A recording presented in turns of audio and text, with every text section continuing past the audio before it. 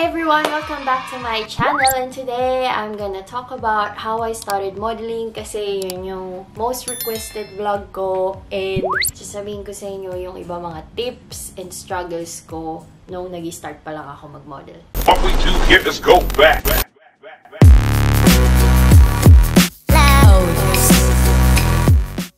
The same time, meron tayo ditong mukbang from Hermas Philo Delicacies here in Melbourne, Australia. Super sarap niya. Dapat to, itong mukbang ko. Parang first time ko. Kakainin. Alam kasi, kanina nung na-deliver siya, hindi ko na napigilan yung sarili ko. Kaya, pak, nilantakan ko na. Ayun. Kaya ngayon, dinner time, kakain na lang ako uli. Para masabi ko sa inyo kung gaano siya. Kasarap! Yan. So, itong aking pagkain ay ang famous isaw baboy. Sobrang na-miss ko to, grabe. After 3 years ngayon ko lang nakain. Kanina lang tanghali, kaya talagang naglaway ako. Tapos, ang famous Shanghai natin, pero spring rolls yung tawag dito. Social. Char. So, nag-start ako mag-model noong 2009. So, that means secret. Charot. That means 16 years old pa lang ako noon. Paano ba siya nangyari? So, ito. Ito muna ang brief history nung high school ako. Hirap pala magmukbang habang ikukwento. So, nag-start ako nung pumasok ako ng first year college sa UST. Honor student ako, tapos, at the same time, Philippine team ako. Binigyan ako ng option ng coach ko. Mag-aaral ako sa UST kung saan kami nagtitraining ng Philippine team. Free lahat. Pero, mag-aaral ako doon nang ang course ko is hindi yung course na gusto ko at saka mas matagal, hindi 4 years. Yung time na yun, ang nasa isip ko talaga, traditionally, di ba mga Pinoy, kailangan matapos mo yung pag-aaral mo bago ka ganito, ganyan. Nasa isip ko, kailangan ko matapos yung pag-aaral ko on time. So, pinili kong mag, mag-quit. Pinilit ko pa rin mag-UST that time. Nag-apply ako ng scholarship kasi nga gumraduate ako ng salutatorian. So, meron akong 50% off. Kaya lang, hindi naman kami mayaman. So, saan ako kukuha ng other 50%, di ba? Ngayon, dito na. Sinabi ko dun sa best friend ko, si Yvette Coral. Sabi ko, sis, meron akong ano, problema, ganito, ganyan. Inuwento ko sa kanya. And then, sabi niya, ah, meron akong kakilala, si Julius Uy. Sabi niya, model agent yun, bakit hindi mo itry? Tapos sabi ko, eh, modeling, ayoko nga, eh, grabe, barako ko nun dahil player ako. Tapos hindi talaga ako nag-ayos. Sobrang hate ko mag-ayos ayoko ng ganong world. Iba yung view ko pagdating sa modeling. Lag, laging super ganda, lahat kailangan lagi nakaayos. So sabi ko, eh, hindi ko kaya, ganito, ganyan. So ang ginawa ko, naghanap ako ng mga trabaho sa call center. Kasi di ba sobrang okay sa call center, dami mo matututunan. Tapos sobrang flexible ng mga boss mo, kumbaga, lalo na pag estudyante ka. So nag-apply ako sa maraming call centers. Tapos wala pa ako nakukuha na call back. Hanggang sa sabi ko, sige sis, ano, sige kausapin ko si Julius Uy. Tapos sabi sabi ko, sana mag-work. So, na-meet ko na si Julius. Uy, ba diba? Tapos, super gusto ako ni Tito Julius, ganyan. Hi, Tito Julius. Super gusto niya kasi sabi niya, matangkad, ganyan. Tapos, pinay na pinay. Tapos, sabi ko, uy, positive. Tapos, ang second ko na na-meet, si Doc Marlon. Na, ngayon, si Doc Marlon, super sikat na photographer siya sa industry. Super galing niya. At saka, basta very prangka lang siya. Pero at the same time, matutulungan ka niya in a way na magi, magi improve ka. So ngayon, the first time ko siya na-meet, tandaan yon first time ko siya na-meet, volleyball player pa ako noon. Yun yung nag-challenge sa akin na magpapayat, hindi dahil sa na-insecure ako, kundi dahil sa kailangan ko siya sa modeling. Kasi that time, kailangan payat ka talaga. Hindi siya as flexible as ngayon. Tapos ayun, nagpapayat ako and then, so I worked hard. Unang-unang-unang shoot ko sa buong buhay ko sa modeling life is yung shoot ko sa Manila Manila Bulletin with Paul Tapia, with Dino Lazaro, Henry Anima. Hindi ko siya makalimutan. Sobrang memorable niya. Tapos sabi nila, hindi, hindi daw ako mukhang first timer nung time na yun kasi parang alam ko daw kung paano umemote. Tapos di sobrang na-uplift yung spirit ko. Tapos sabi ko, oh, I think, alam mo yun, sabi ko sa ko, I think meron akong future dito. Pero for the first two years na modeling, I'll be honest, ginagawa ko lang siya for money. Hindi dahil sa malaki yung pera, kundi dahil sa mabilis lang yung pasok ng pera, which is magbe-benefit sa school fees ko. Eh, to be honest, sobrang hirap niya. Kasi at daming utang patong-patong dahil hindi naman palaging nababayaran agad and hindi naman lahat ng modeling gigs bayad. Lalo na nung nag start ako, talagang ang dami-dami kong jobs na ginawa na hindi ako bayad. Photoshoots, runways. Bakit? Bakit ko siya ginawa? Kasi, number one, binibuild ko yung portfolio ko kasi bago ako. Number two, experience yun eh.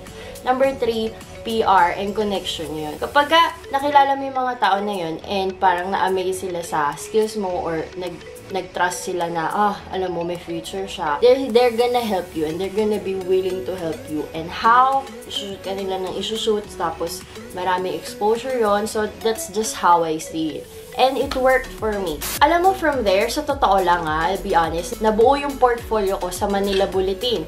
Every Friday and Saturday, nasa dyaryo ko. Tapos, yung FIP, yung Fashion Institute of the Philippines, halos every week nandoon ako. Minsan twice a week pa nandoon ako. Shoot ako ng mga estudyante nila. Kaya sobrang dami ko nakilala. E naging in-house model ako kumbaga. And ito lahat ng to nangyayari habang nag-aaral ako ha, sa UST. So talagang ang hirap niya i-balance. Tapos to ha, alam to ng mga alam to ng mga professors ko sa UST na talagang pina-prioritize ko yung modeling. sobrang bait nila. Like, nung, nung una medyo nakaka-stress for me kasi kailangan kong uh, may explain sa kanila kung bakit ko yung kailangan i-prioritize. Pero eventually, mga third year na ako, ganyan, fourth year. Sobrang bait na nila sa akin. Tapos naiintindihan nila, ganyan. Pero syempre, nagko-comply pa rin ako sa mga kailangan ko as a student. Hindi naman pwedeng palagi na lang ako excuse. Ito, thank you sa mga professors ko. Oh my gosh. Lalo na kay Sir Cortez, na super duper bait. Always supportive sa akin. And then yung sa dean namin, sa engineering, Sir De Alban. Ooh, rock. Char. Isa pa na nakatulong sa akin sa modeling ko, sa tuloy-tuloy na pamamayagpag ng modeling career ko, si Direk Robbie Carmona. Oh my gosh, this is the story. Ngayon, first time ko nag-casting sa Metro Wear noon. Nalimutan ko anong year. So, nakuha ko, di ba? Woo, sobrang saya. Tapos, sa modeling, big deal kapag ka opener ka or finale. So, pero nung time na yun, wala akong idea kung ano yun. Re-rehearse na kami, di bagong-bago ko, parang 2011 ata, 2010. Tapos, ako yung unang-unang model. Tapos ako, wala namang pakialam. Tapos meron daw mga naririnig on the side na bakit daw ako yung unang-una, hindi daw ako makalakad na maayos. Big deal nga kasi siya, di ba? Kasi parang ikaw yung magsiset ng tone ng buong show. So, kailangan powerful. Si Direk Robbie, ako yung nilagay niya doon. Ngayon, hindi ko alam na siya pala yung namimili ng line-up ng models ng time na yun. As in, wala. Yan, ginawa ko lang yung best ko. Alam mo, sobrang love ko si Direk Robbie. Why? Kasi yun yung start na kahit saang lupalop siya ng mundo ah, mundo, hindi lang sa Pilipinas, kasama niya ako. At ipipilit niya ako isama. Kasi sabi niya, love na love niya daw ako. And sabi niya, magaling daw ako. Yun. Tapos sabi niya, tsaka gustong gusto niya daw akong tulungan. Dahil nga yung time na yun, nag-aaral ako. Tsaka, he never stopped believing in me. Dahil sa kanya, nakilala ko sa runway. When it comes to my runway experience, ibang klase. Dahil sa kanya talaga, dami kong nagawang shows, tsaka mga big time na shows. Alam mo yun, mga shows na hindi ko akalain na magagawa ko. Sabi niya ako daw, ay, Saga baby. Tapos si Miss Grace din, ganun, from Saga. Kahit saan din siya magpunta, ako din kinukuha niya. Tapos si Alex. Tapos isa pang malaking part ng modeling ko is Philippine Fashion Week. Si Direk Joey and Odi Espino. Oh my gosh, Direk Joey, grabe. Like, super strict niya. Pero, alam mo, sobrang supportive niya. Kasi ganito, sa Fashion Week, parang usually models no, nung time namin, allowed na lang mga 6, ganyan. Pag meron ka 6 shows, 7 shows, super dami mo ng shows nun. Kasi usually, dalawa lang, tatlo lang per model para fair. Pero dahil alam niya ang aking struggle being a working student, alam mo, like binigyan niya akong 10 to 12 shows every season. Every season, walang palya yon. At, which is funny because alam nyo, yung bayad per season is a month before my enrollment. So, lahat ng, lahat ng pera na nakukuha ko sa Philippine Fashion Week nun, diretso yun sa tuition fee ko. Sobrang big exposure nun for me, Philippine Fashion Week. Kahit dun sa mga ibang shows nila outside Fashion Week, lagi pa rin nila ako kinukuha. Direct Joey, super thank you. Alam mo yun. Alam ko na hindi ako palaging um, expressive kasi naya ako eh. Eh, natatakot ako. Pero yun, sobrang thankful ako na sobrang laking part ng Philippine Fashion Week sa modeling career ko. Kasi, Can you imagine? Sa isang show, minsan five times ka lalabas eh. Yung training na yun sa akin, ang laking tulong niya, like, hindi, hindi ko, I speechless ako. Ganong level na, kung hindi ko ginawa ang Philippine Fashion Week, kung hindi ko ginawa ang Robbie Carmona shows, sa runway, maybe hindi pa rin ako maroon hanggang ngayon. Kasi it doesn't matter naman kung 10 years ka na nagmo-model eh. Pero kung yung 10 years na yun, hindi mo siya na-maximize, ba? Marami ka pa rin kailangan matutunan. Wala man akong proper training, proper modeling training, pero yun lang, yung binigay na opportunity na yun, kumbaga plus pa nga yun sa akin eh. Kasi parang kumikita na ako, na-expose pa ako, natitrain pa ako. Isa pang naging malaking part ng modeling career ko na nakatulong talaga sa modeling career ko is si Ino Soto.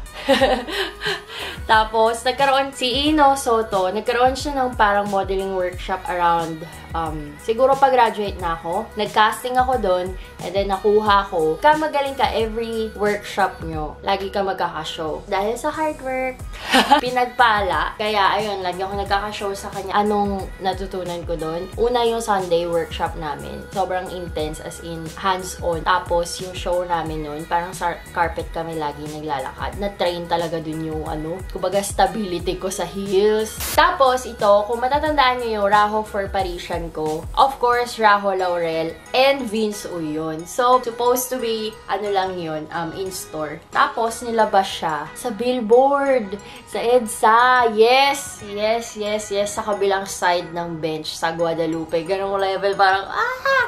Dun, nung 2012 yun. Tapos, talagang dun, isa pa, nag-boom yung career ko sa modeling sa Pilipinas.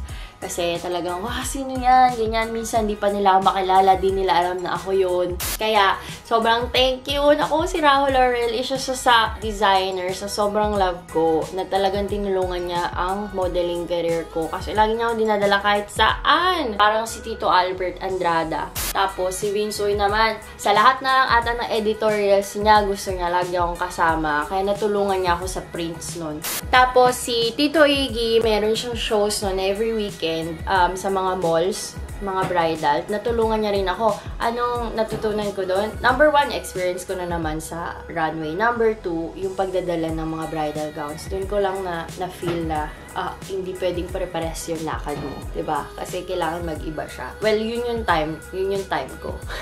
Tapos, nung nag-Asias ako, si Noel Crisostomo tsaka si Roland Alzate, sila yung nagpadala sa akin ng mga clothes ko sa Asia's Next Top Model. Kaya kung mapapansin nyo, yung mga elimination rounds ng Asia's Next Top Model, tingnan nyo yung mga clothes ko doon. Kung mapapansin nyo, mga designer clothes yon. Pero kapag tinignan nyo ako pag mga nagsushoot, ganyan, yung mga clothes ko pag ini-interview, mga wala lang yun. Handang-handa ako. Talagang 13 clothes yung dinala ko doon kasi sabi ko, aabot ako hanggang dulo. Ganong level.